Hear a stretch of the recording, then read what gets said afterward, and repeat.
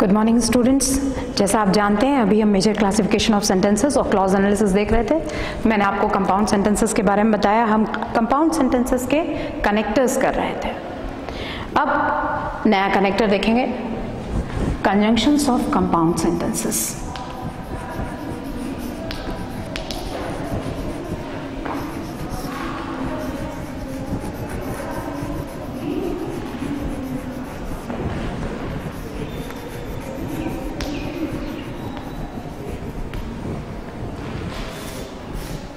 अभी तक हमने देखा and both and not only but also इसके अलावा बट स्टिल और येट अब देखेंगे for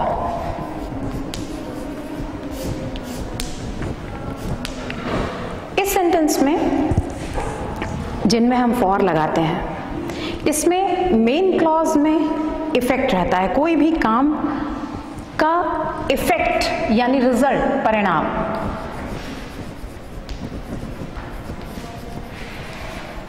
Main clause shows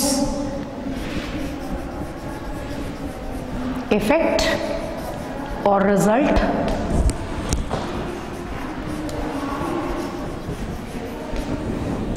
and जो इसका कोऑर्डिनेट क्लॉज रहेगा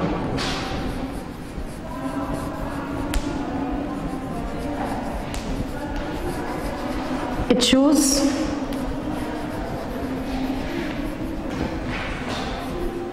the cause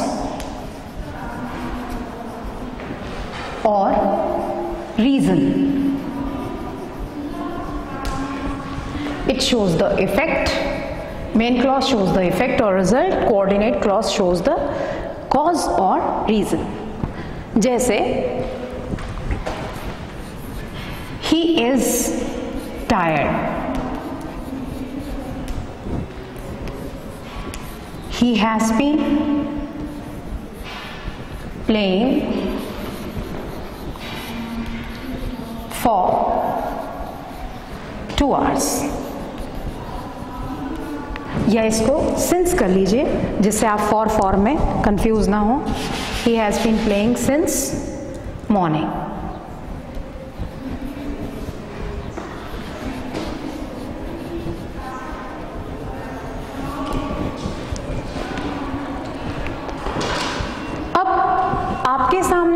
effect पहले है, वो थका हुआ है। वो क्यों थका हुआ है? क्योंकि वो सुबह से खेल रहा था। तो he is tired he is और मैं क्लियर लिखती हूँ जिससे आपको अच्छी तरह से समझ में आए।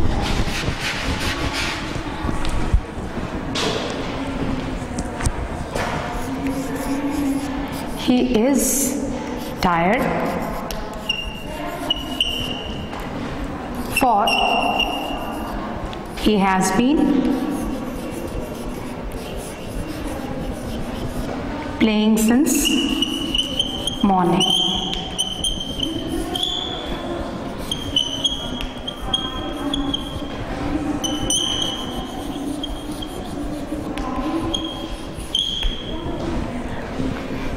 इसी तरह से the police stopped him.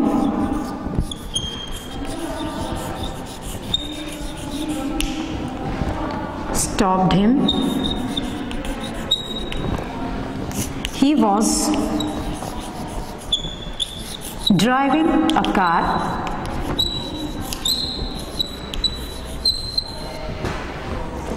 At a very high speed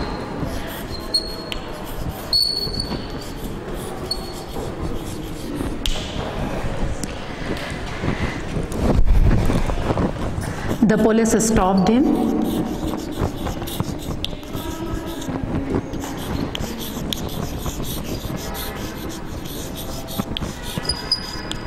For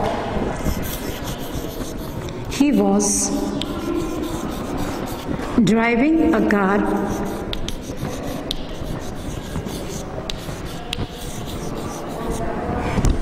at a very high speed.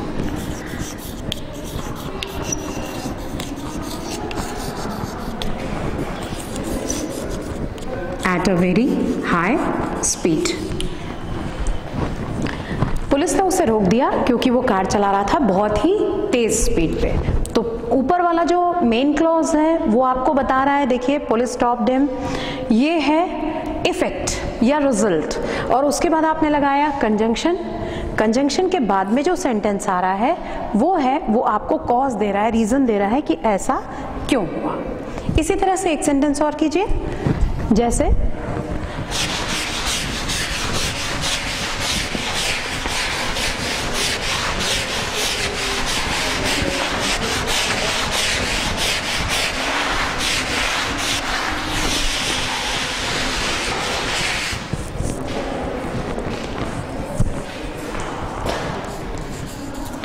did not.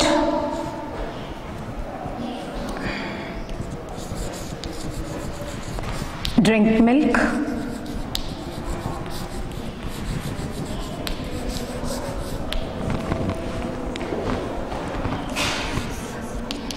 His brother had dropped a dirty ball in it.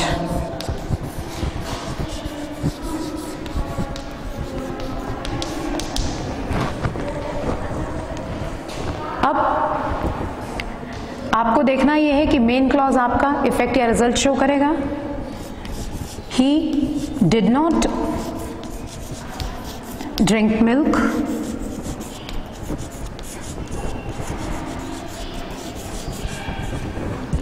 for his brother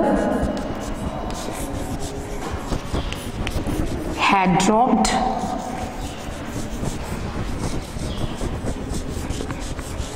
a dirty ball in it.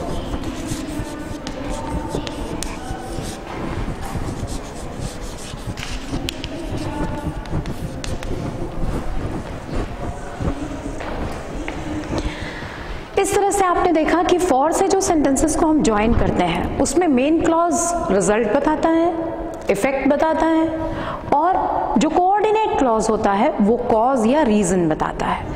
इसी तरह से, इसी से मिलता जुलता एक और connector है विच इज़ देयरफॉर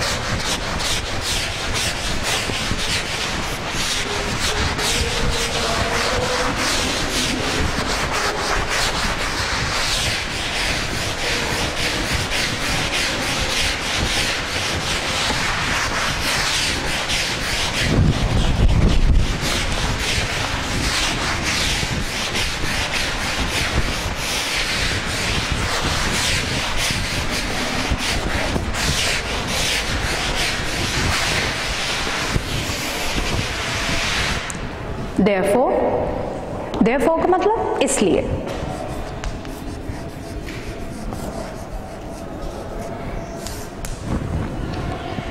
इस कंजंक्शन में आपको ध्यान रखना है इस प्रकार के जो सेंटेंसेस बनेंगे, उसमें मेन क्लॉज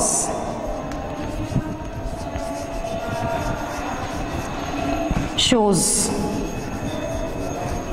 कॉज और reason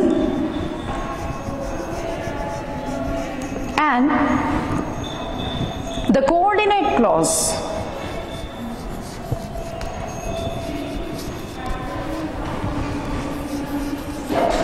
शोज़ इफ़ेक्ट और result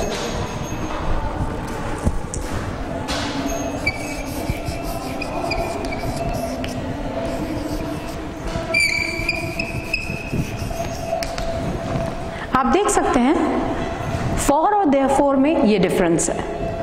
for main clause for में रीजन शो करेगा रिज़ल्ट इफ़ेक्ट शो करेगा रिज़ल्ट शो करेगा और जो कोऑर्डिनेट क्लॉज होगा वो कॉज या रीजन शो करेगा। जबकि देयरफॉर के केस में जस्ट अपोजिट है, पहले कॉज या रीजन आएगा और कोऑर्डिनेट क्लॉज जो है वो उसका इफ़ेक्ट या रिज़ल्ट शो करेगा। जैसे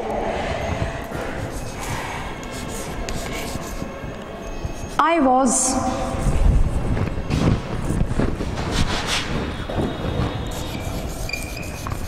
ill.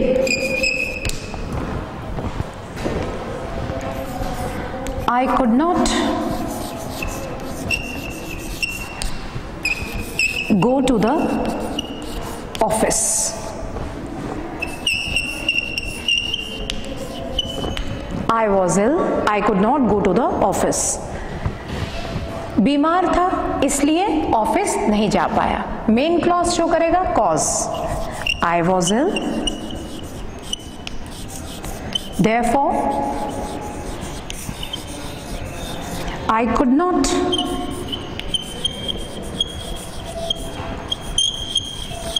go to the office.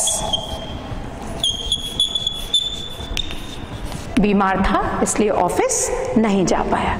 Likewise इसी तरह से सेंटेंसेस और बना के देखिए। He was not in the class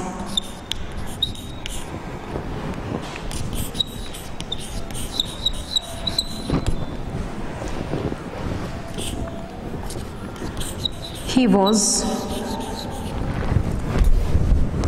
marked absent.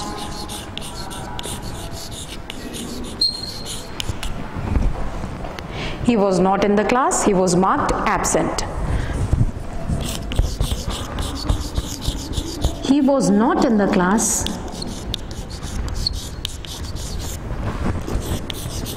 Therefore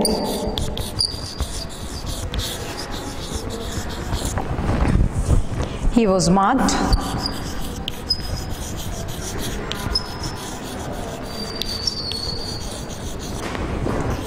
absent. Therefore he was marked absent. Class में नहीं था इसलिए उसको एबसेंट मार्क कर दिया गया।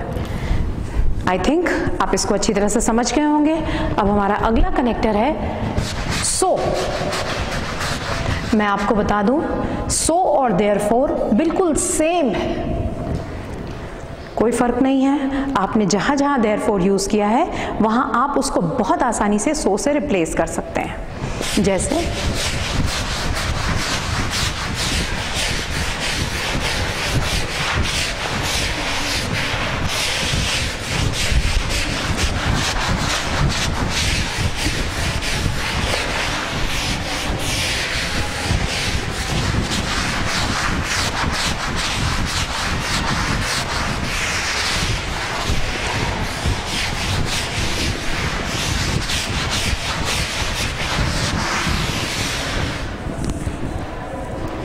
इसमें भी सेम चीज़ होती है मेन क्लॉज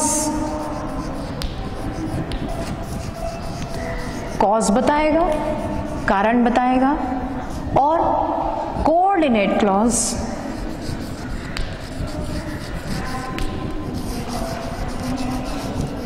उसका रिज़ल्ट या इफ़ेक्ट बताएगा। जैसे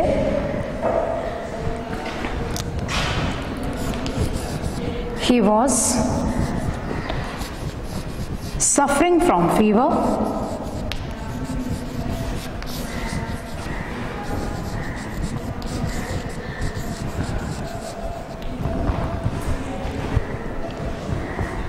He could not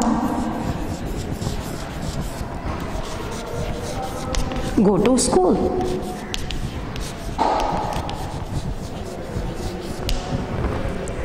He was suffering from fever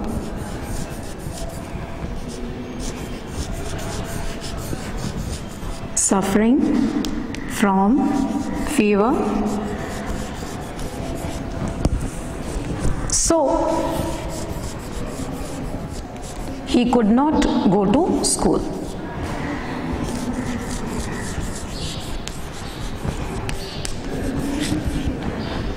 he could not go to school इसी तरह से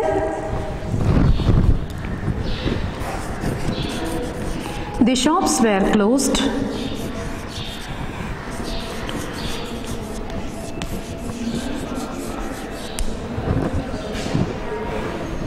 we returned without shopping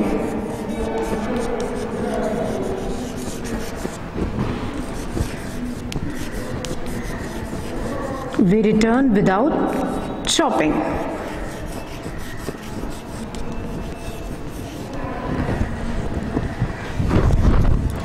The shops were closed.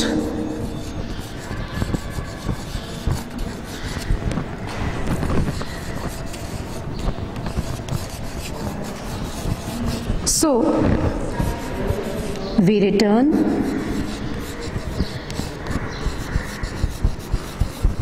without shopping.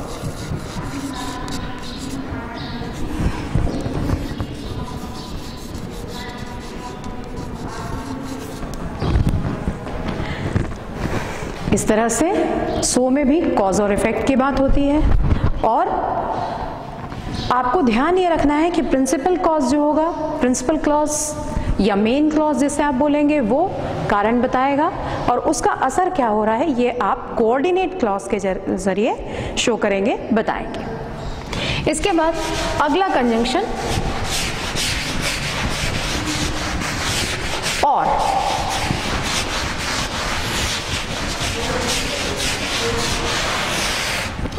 we use or when there are two possibilities किसी भी चीज़ की अगर दो संभावनाएँ आपको दिखाई दें तो और यूज़ होता है। दोनों में से कोई एक, और और आइदर और लगभग एक जैसे हैं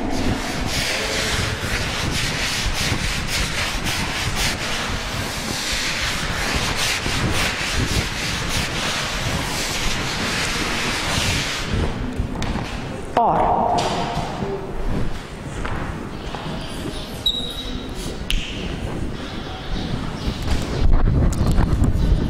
जैसे or is use when there are two possibilities जैसे work hard you will fail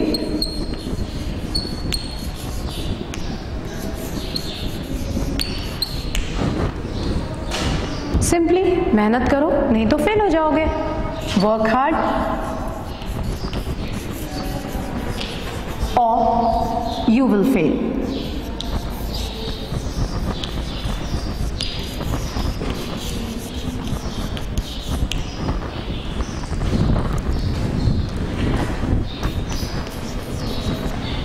You may read.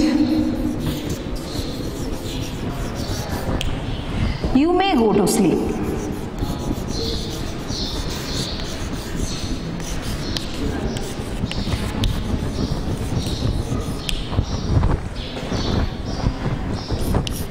You may read or go to sleep.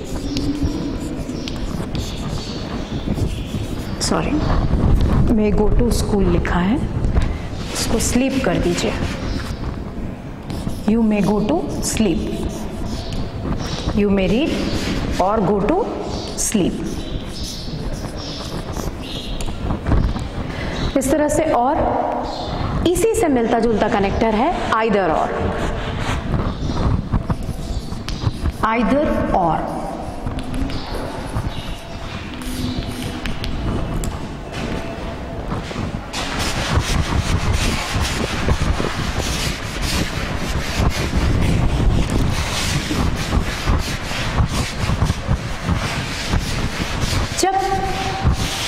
Options दिए गए हों। When there are two options and you have to select one of them, उसमें से एक आपको select करना हो। तो आप आइदर और का इस्तेमाल करेंगे। दो ऑप्शंस दिए हैं और दोनों में से किसी एक ऑप्शन को सेलेक्ट करना है। जैसे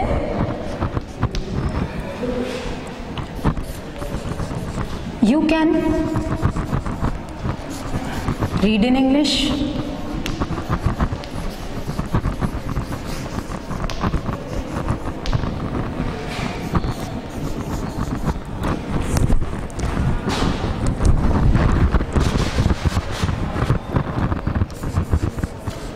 you can write in English, you can write in Hindi.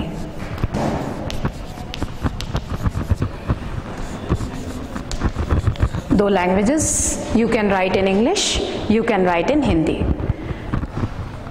अब फ़र्स्ट ऑप्शन के पहले आइदर लगाइए. सेकंड ऑप्शन के पहले और लगाइए. You can write either in English or in Hindi.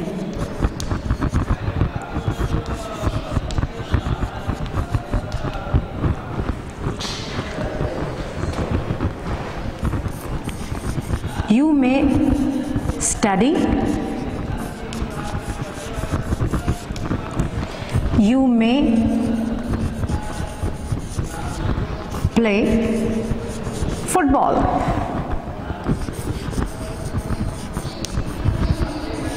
You may study, you may play football. किस तरह से बनाएँगे फ़र्स्ट ऑप्शन के पहले आइदर लगाइए सेकंड ऑप्शन के पहले or you may either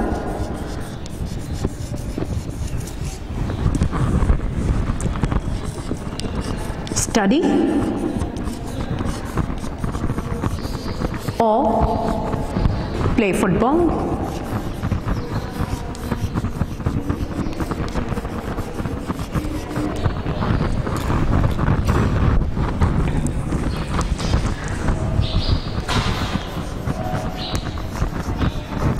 You can go for shopping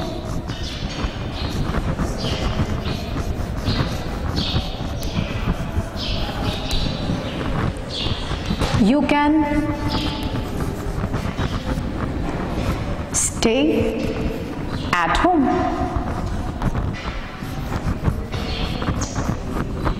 you can go for shopping you can stay at, as stay at home अब यहाँ पे दो ऑप्शन हैं आपके पास you can either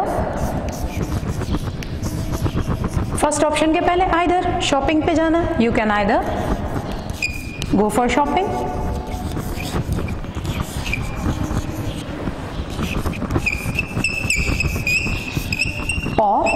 stay at home. Or stay at home.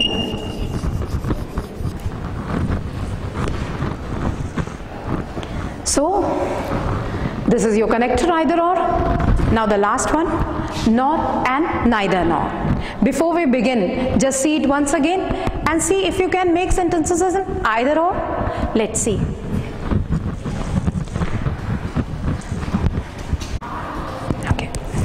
जैसे आपने either और देखा। इसी तरह का एक और कनेक्टर है दैट इज़ नाइदर नॉर उससे पहले हम एक कनेक्टर लेंगे नॉर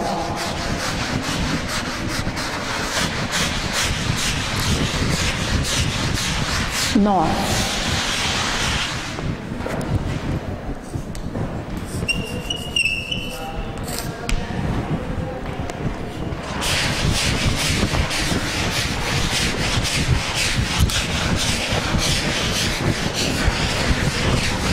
नॉर में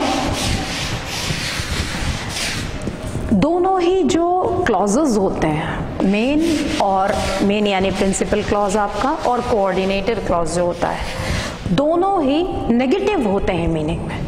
दोनों में ही निगेशन आपको दिखेगा।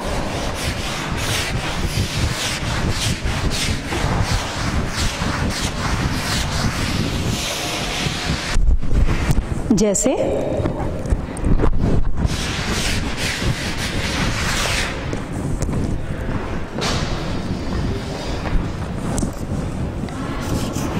Asha did not do her homework.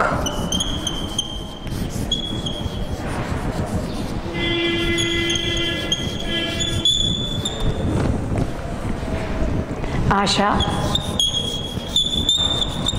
did not bring her notebook.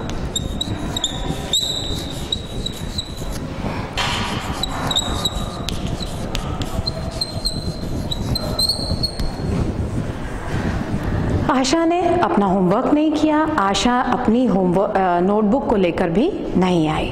अब दोनों ही सेंटेंस नेगेटिव हैं। यहाँ एक ध्यान रखना है, नॉर का जो स्ट्रक्चर होता है, आप नॉर जहाँ लगाएँगे, नॉर के बाद हेल्पिंग वर्ब आएगी, यानी कि सहायक क्रिया। उसके बाद सब्जेक्ट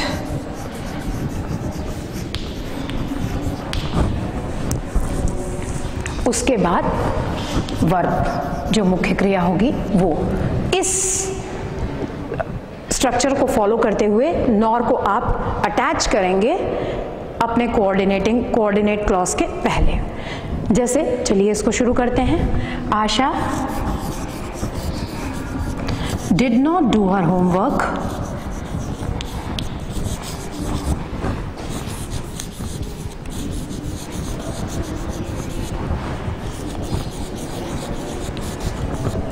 ठीक है। अब Asha did not bring her notebook यहाँ पे नॉर लगाना है आपको। नॉर हेल्पिंग वर्ब क्या है यहाँ? डिड सब्जेक्ट ऑलरेडी आ चुका है आशा। तो आप यहाँ पे आशा की जगह प्रोनाउन करिए she not did she bring verb हो गई हमारी। Bring her notebook.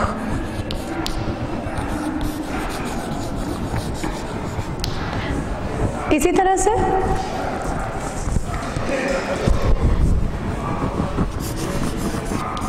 we did not play football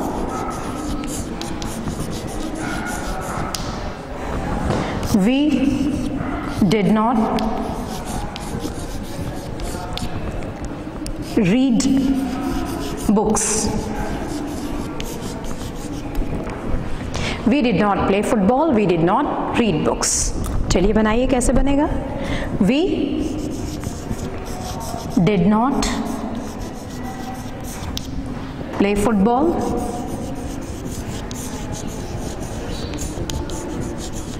No. Helping verb लाइए nor did we read books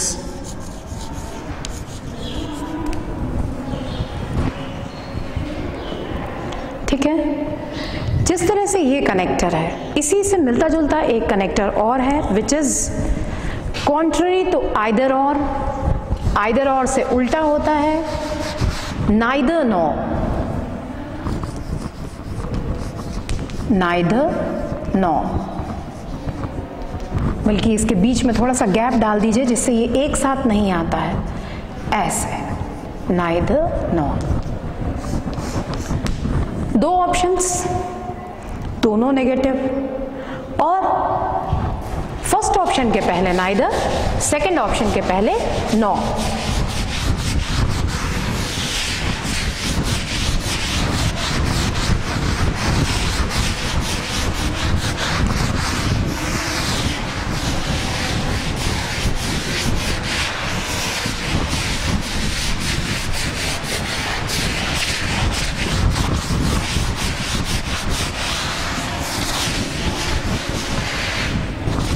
जैसे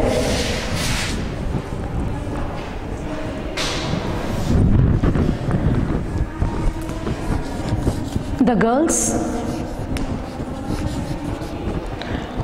did not join excursion the girls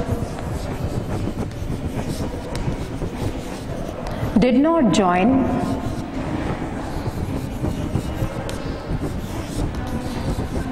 Picnic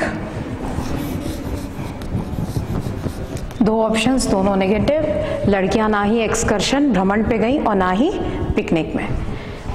first option के पहले neither लगाएँगे. The girls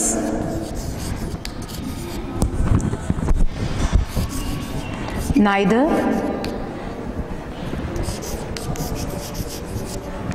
joined excursion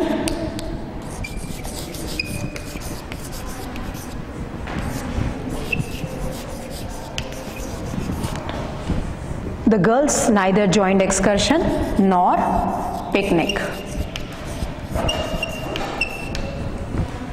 इसी तरह से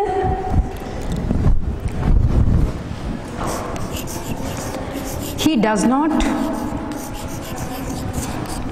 use his bicycle.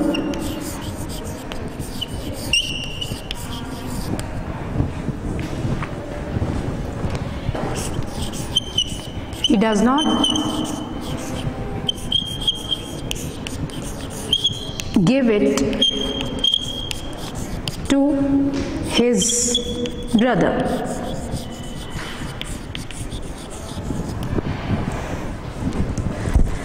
he does not use his bicycle he does not give it to his brother ना ही वो अपनी साइकिल खुद यूज़ करता है और ना ही अपने भाई को देता है किस तरह से बनाएँगे he neither uses his bicycle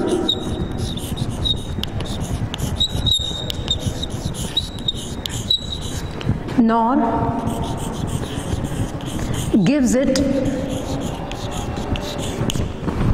to his brother.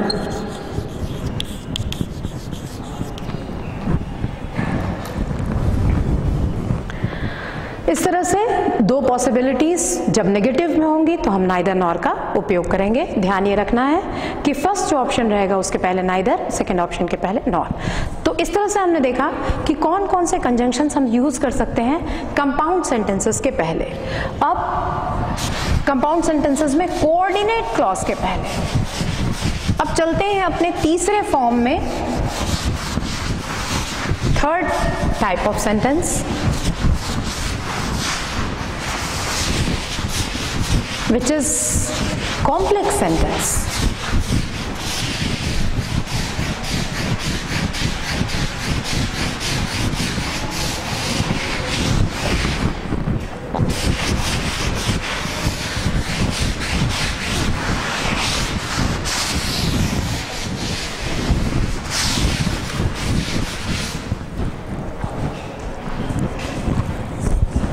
Complex sentences.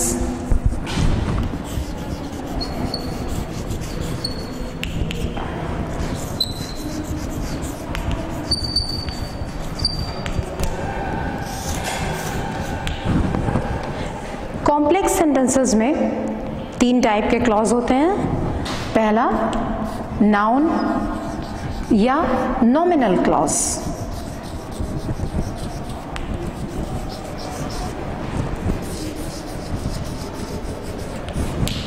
दूसरा relative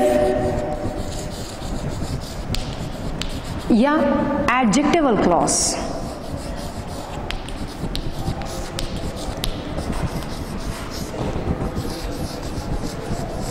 and the third one is adverbial clause या adverb clause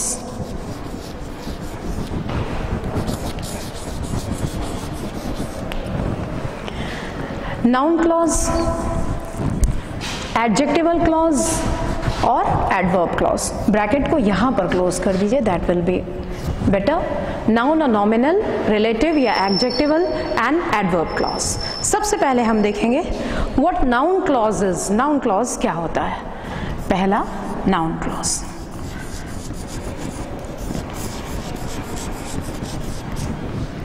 noun clause is a group of words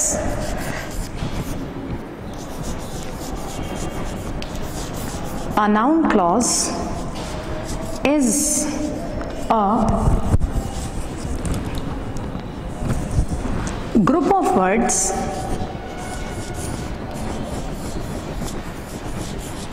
which contains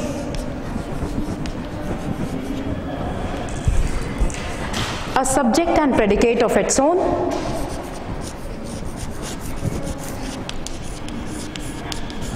a subject and predicate of its own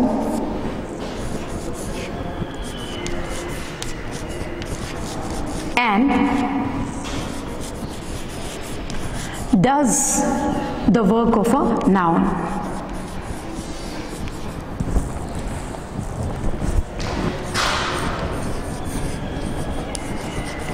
Hindi में समझ लीजिए इसको noun clause शब्दों का समूह, जिसमें एक सब्जेक्ट और प्रेडिकेट अपना ही सब्जेक्ट और प्रेडिकेट होता है और वो संज्ञा या नाउन का कार्य करता है।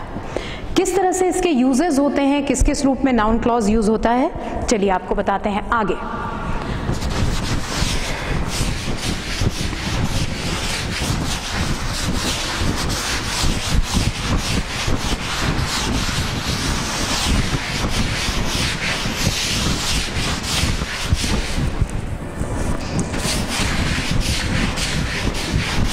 Noun clause.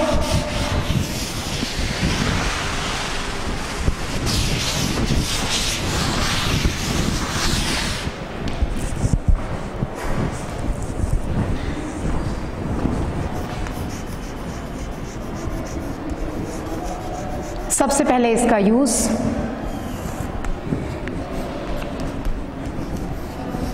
the subject of a verb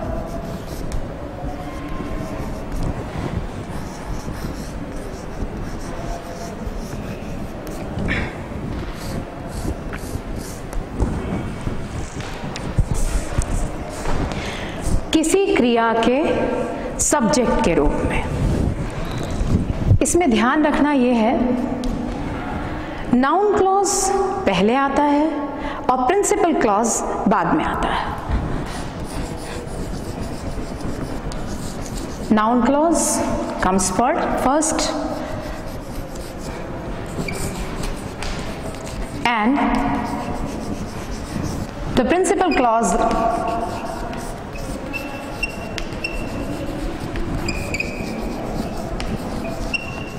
later बाद में आएगा। इस टाइप के सेंटेंस में इट इज़ हिडन छुपा हुआ रहता है। जब आप सेंटेंस को ज्वाइन करेंगे तो। और तीसरी चीज़ it begins with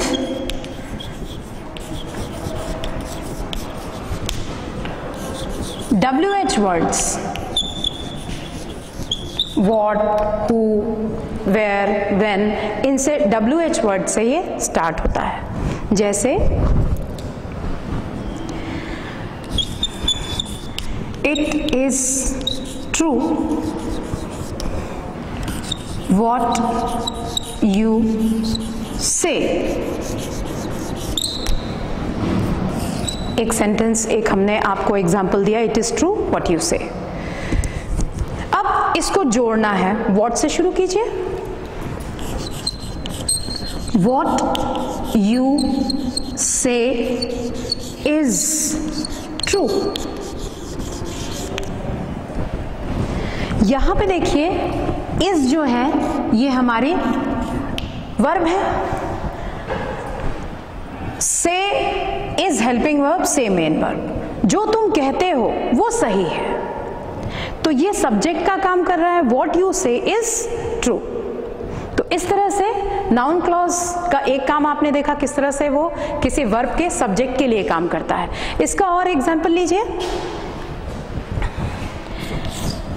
पहला sentence it is not legible दूसरा sentence what you write it is not legible जो तुम लिख रहे हो, लिखते हो, पढ़, पढ़ा नहीं जाता वॉट यू राइट स्टार्ट करेंगे वॉट से? What you write is not legible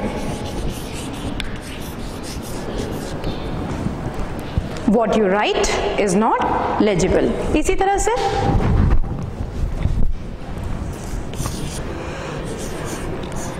it is uncertain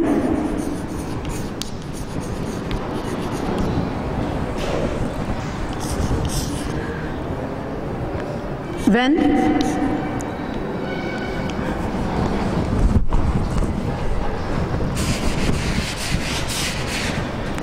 या इसको I shall return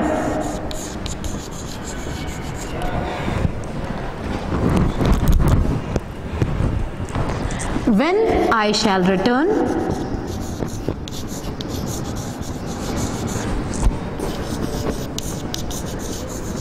is uncertain यहाँ पे आपने कंजंक्शन लगा के जोड़ा है। When I shall return is not is uncertain या इज़ नॉट सर्टेन तो इस तरह से आपने देखा कि सब्जेक्ट ऑफ़ ए वर्ब के रूप में नाउन क्लॉज का इस्तेमाल किस प्रकार से होता है। इसके बाद नेक्स्ट क्लास में हम देखेंगे इसके अलावा और कौन कौन से यूज़र्स हैं नाउन क्लॉज के। Thank you